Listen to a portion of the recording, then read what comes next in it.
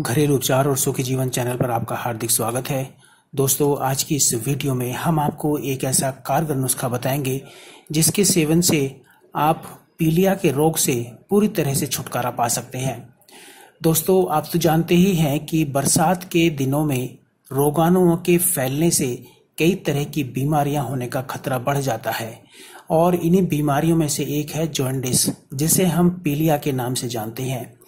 इस बीमारी में व्यक्ति की त्वचा से लेकर आँखें, नाखून, पेशाब का रंग पीला हो जाता है और इसके साथ ही लीवर बहुत ज़्यादा कमज़ोर होकर ठीक से काम करना बंद कर देता है।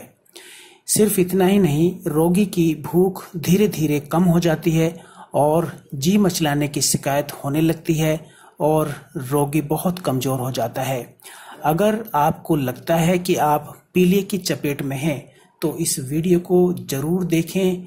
हमने आपके लिए इसमें एक बहुत ही आसान और बहुत ही कारगर उपाय दिया है, जिससे आप पीलिया के रोग से पूरी तरह से छुटकारा पा सकते हैं। इस नुस्खे के लिए आप एक कप गर्म दूध ले लीजिए और उसमें आधा चम्मच कलौजी का तेल मिला लीजिए। ये हमने इसमें मिलाया है आधा चम्मच कलौंजी का तेल।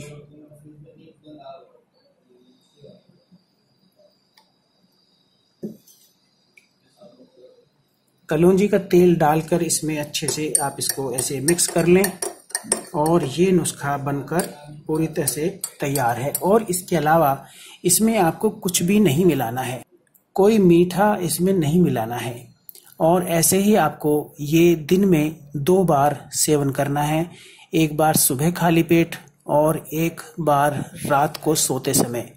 दोस्तों, सिर्फ़ एक हफ़्ते तक लेने से पीलिया रोग जड़ से समाप्त हो जाता है।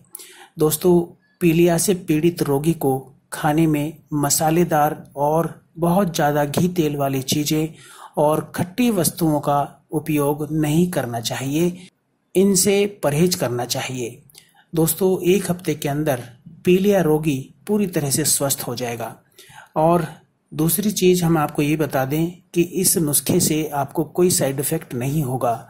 ये बहुत ही कारगर नुस्खा है और पीलिया एक बहुत खतरनाक रोग। यदि इसका समय पर इलाज ना किया जाए तो ये जानलेवा भी हो सकता है।